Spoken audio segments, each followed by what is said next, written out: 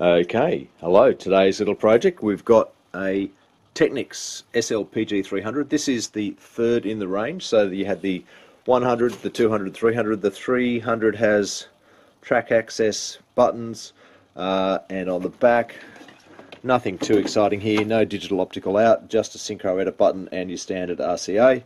So there you go. So this unit would probably have been, from memory, from about 1990 to 1991 and power this up. See what happens. Okay we've got signs of life which is excellent. So I picked this up for 15 Aussie dollars at a clearinghouse. And like a garage sale basically. Sometimes they work sometimes they don't. Okay. Alright so she's a dead. Can't hear the spindle motor. Can't hear um, anything like that. So let's open it up and see if we can work out what is going on. At least the drawer is nice and smooth. Pretty simple to, dis uh, to dismantle this thing. Four screws, one in the back. Okay, so still got this thing powered up. So pop its CD in. and what we're looking for is some signs of life from the mechanism here when I press the close button. Alright, nothing. Nothing from the spindle motor and the sled motor which drives the mechanism back and forth. I can't hear that moving at all. So there's a couple of micro switches that control the motion of that and there's also the track 1 sensor which will uh, make sure that the laser is in the, the inner position before it allows the spindle mo uh, motor to start. So these are just mechanical interlocks. Uh, we'll have a look at that. I'll, ta I'll take this whole mechanism out. Still see a little bit of original grease there. It feels pretty good actually. And we'll see if the spindle motor or the sled motor uh, are working. We can put some voltage on them, about 3 volts, and uh, and we'll see, uh, see what we can find with this thing. Make sure it's safe. This just will wiggle out. Just pinch it from each side, wiggle it up, and feel that coming out. And there we go, that's free. And now I can start to dismantle the whole sled mechanism and pull it out from the front.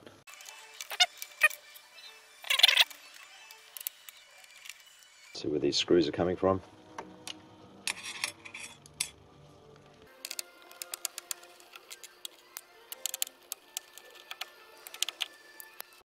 Alright, so that's the spindle drawer and the logic controls for the spindle drawer, which also connect, uh, they'll also connect to the two micro switches which are in here.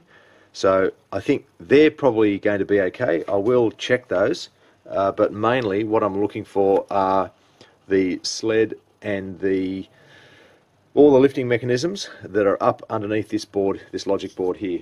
So I'm just going to pop these screws off, put them somewhere safe. I'm now getting a collection of screws, so I've got to remember where everything goes. Got these little clips at the side here. Need a flathead for that. Now there's a ribbon cable under here. I'll just show you that. So as you lift this up,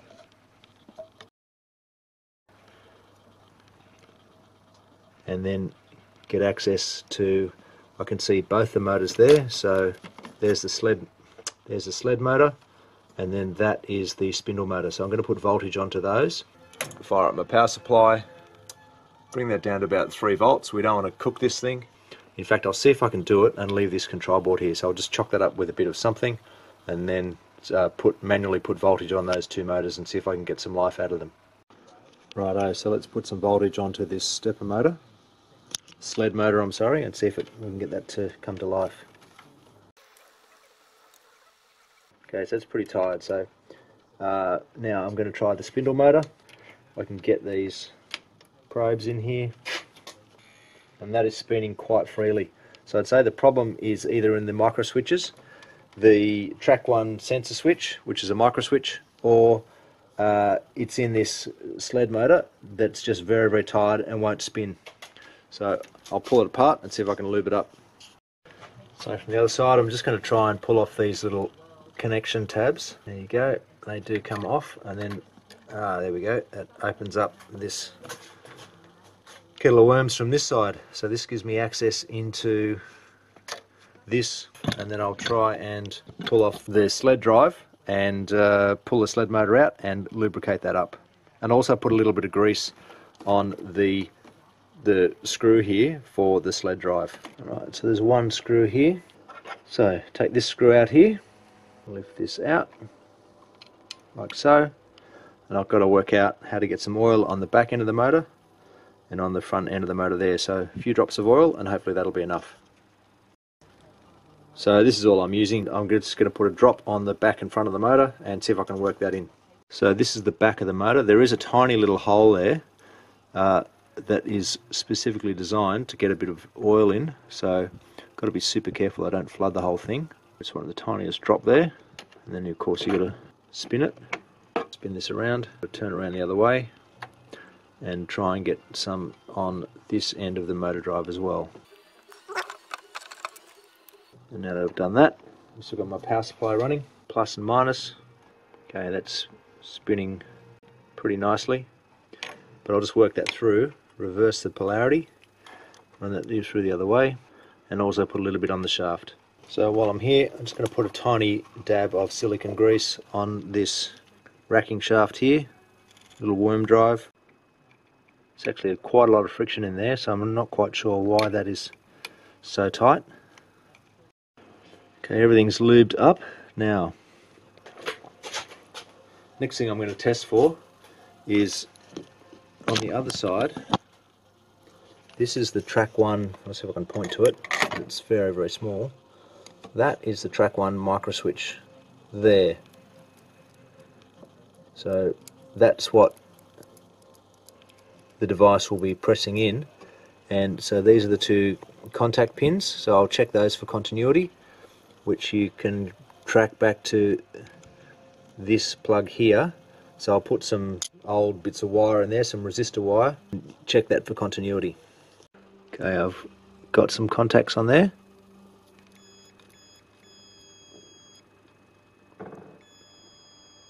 One and a half ohms so that micro switch is good right check the other micro switches.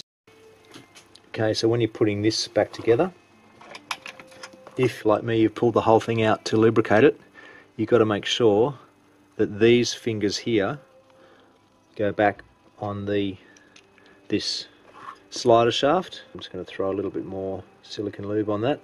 Looks alright but as they say can you ever have enough? And yeah, the answer is actually yes, you can. So, use my fingers, uh, my tweezers, I'm sorry, pick that up, slide that on there, locate that, seat that in, that's good. Now I've got to put this motor back in, so that's all lubed, and that's got to sit in absolutely square. Okay, to get this seated back in, there's a little receptacle, little hole, little ferrule right in there. You've got to get that in first, otherwise this motor mechanism will not go in. So this is seated in there properly. I've given this a few turns by hand to make sure it's actually meshed with the worm gear, and it is. So I'm going to put this tiny little screw back in and put it back together. So there's only the one screw that holds that in. You have to have magnetic screwdrivers doing this sort of work. Just to see if that works. And it does, you can see that. Alright, so flip this bad boy over. Make sure you retrieve these plugs so they can go back into their right spots and two and the next thing to check are the two sled micro switches. So I've tilted that back over and I'm just going to take the screw out from the top plate. Look at that. It's actually quite a long screw. That should just lift out and it does. Too much crap on that which is good. Basically possible to tell what condition the laser is in. There she blows there and what I'm looking for are the two micro switches so that when the draw slides out in this position, they activate and tell the logic circuits the position that the drawer is in. Okay, so the micro switches that we're talking about are under here. I'll just show you. Uh, these are the two micro switches here. So basically they tell the logic controller the, uh, the position of the drawer, uh, basically in or out. So I'll just do some continuity on those and see if they're working. They might need some deoxit. Oh look, I may as well take this whole draw mechanism out. Oh, that is quite tight. At least I know I'm the first one that's been in here. Take the top tray out. We will be visiting that later because I'll put a little bit of lube on those gears. But I still don't know if the laser on this is stuffed. But first things first, there are the two micro switches there. So I've got to put contacts on those, make sure that they're okay. In fact, I might just spray a little bit, bit of deoxit on those uh, before I even put that back together, just to save me the trouble. Okay, first one's good, 2 ohms, but that's probably enough to contact. 2 ohms, okay, not great. 2 ohms. Alright, so while we're here, it's going to put a tiny bit of lube on the upper and lower rack and pinion there. Okay, to put this back together, pretty straight. And now while I've got this open, we may as well have a look at how this works. So these are the two switches. So this is the tray mechanism and you can see it lifting up. So that will obviously be in the closed position and that is in the open position. Righto, so I've got everything back together. It takes a little bit of fiddling around and what you'll find when you're trying to put this tray back together is that you can't put it back because there are plastic slider clips, um, particularly this one on this side, uh, you can't put this mechanism back together in the closed position. You've got to put it back together when it's in the open position. So what that means is it's got to go back together when it's in this position here.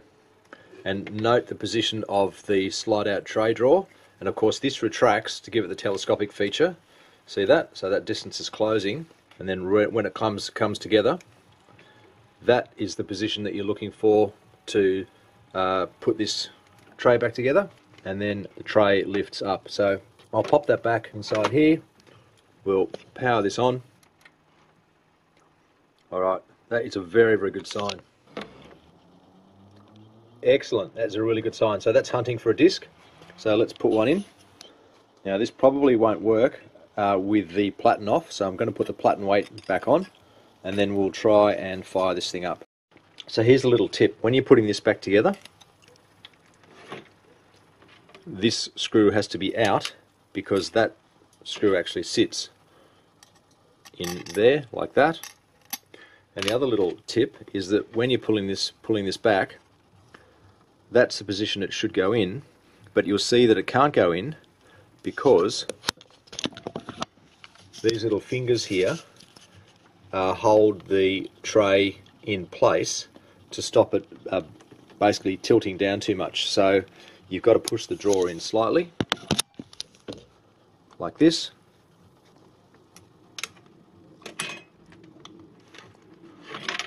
You've got to push the drawer in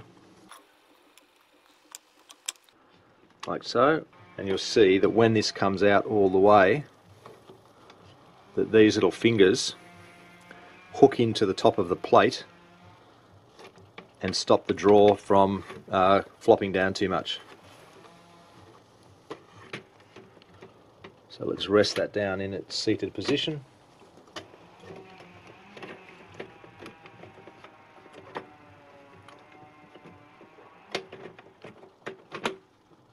All right.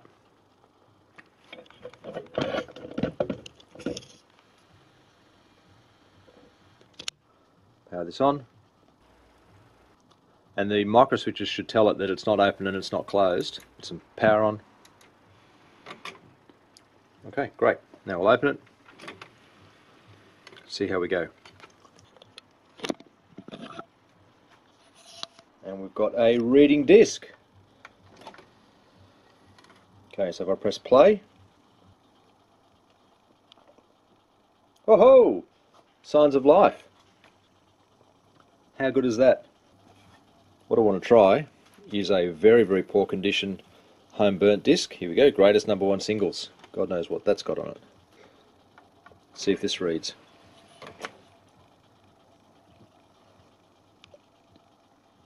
Alright.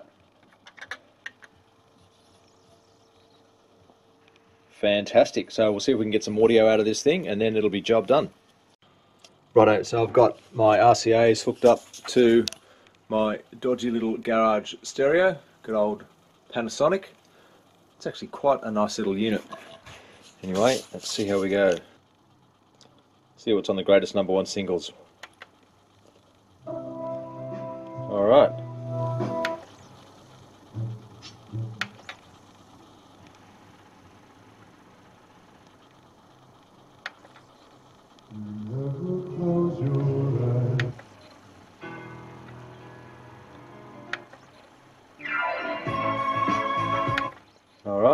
Perfect, absolutely perfect.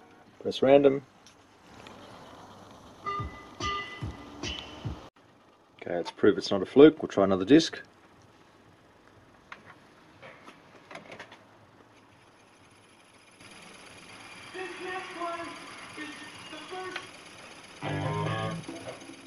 Alright, so that's working pretty well.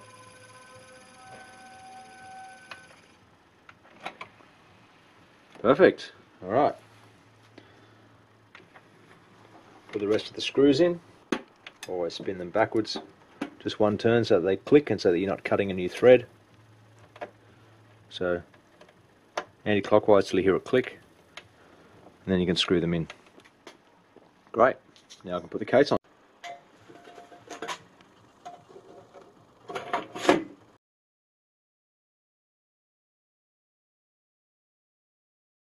Done.